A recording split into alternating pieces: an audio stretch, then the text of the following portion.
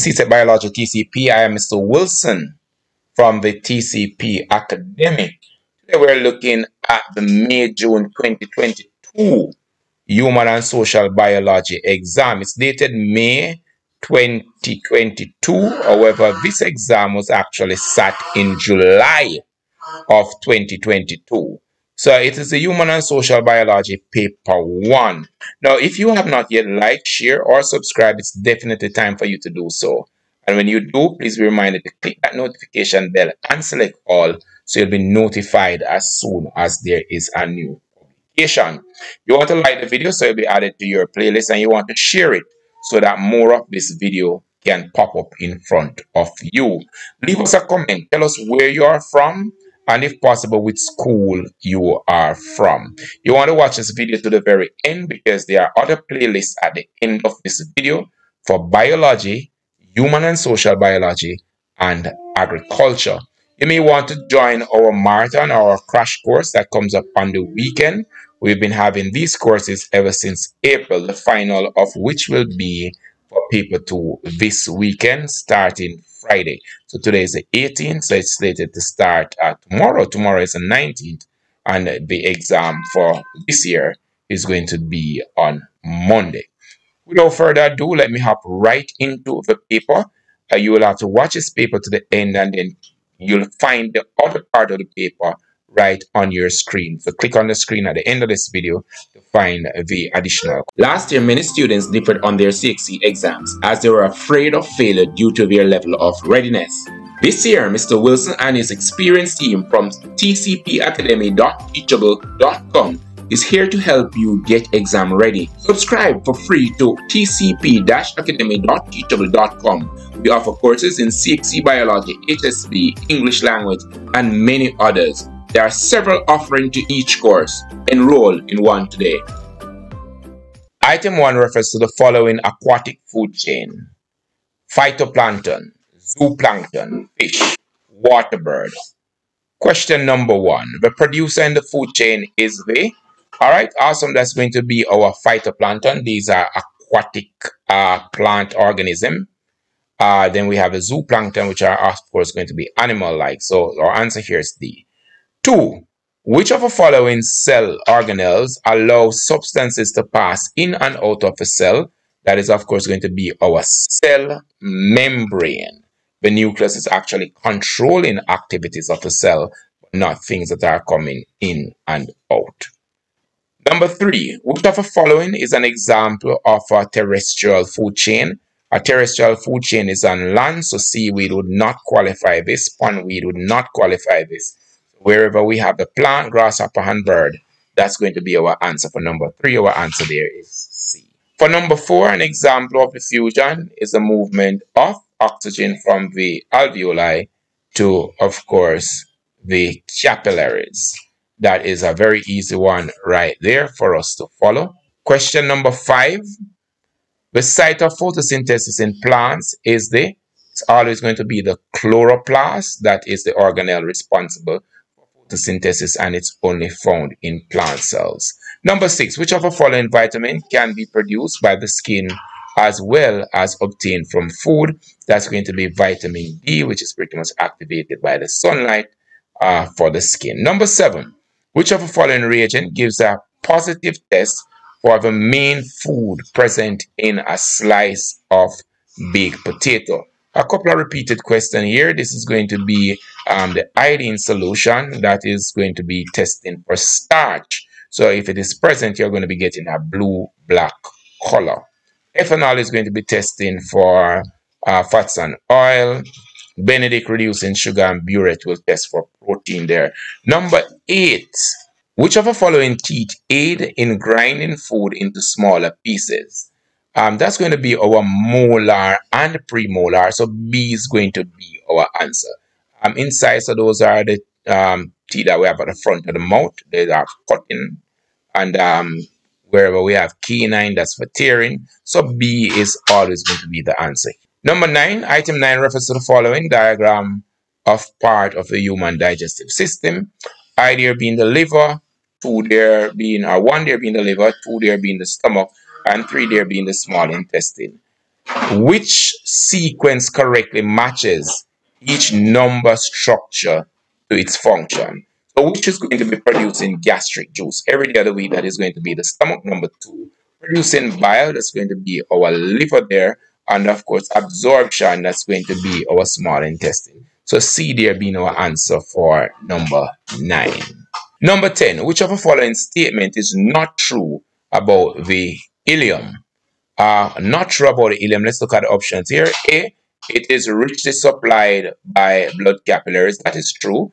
Um, the walls secrete enzyme which completes digestion and then it contains hundreds of minute proje projection called microvilli. That's true. It is. It has a small surface area uh, for the absorption of products of digestion. That's not going to be true. It has a large surface area, which is pretty much enhanced by the microvilli. So, of course, D is going to be our answer for not. Number 11, which of the following represents the correct sequence of events in the formation of a dental cavity. You're going to have plaque because the teeth are not properly, teeth is not properly cared for. And then we're going to be having the enamel decay. And after the enamel decay, we're going to be going down to the dentine. And after the dentine, we will have an, uh, an abscess. So of course, here it's going to be 4, 3, 2, 1. Number 12, which of the following phrases best describe egestion? Now remember, egestion is pretty much the removal of undigested food from the body, and feces is one such material. It's not the same as excretion. So the removal of undigested food from the alimentary canal is going to be our best option here for number 12. Number 13, kwashiorkor is a deficiency disease caused by a lack of protein. B is going to be our answer every day of the week here. Marasmus would have been for um, carbohydrate. Number 14, which of the following vitamin is not a fat-soluble vitamin? That's going to be C. So we have A, D, E, K, and we have B and C as our water-soluble vitamin. Uh, item 15 refers to the following drawing of a model uh, used to demonstrate breathing in human. Now we have one, two, three, four.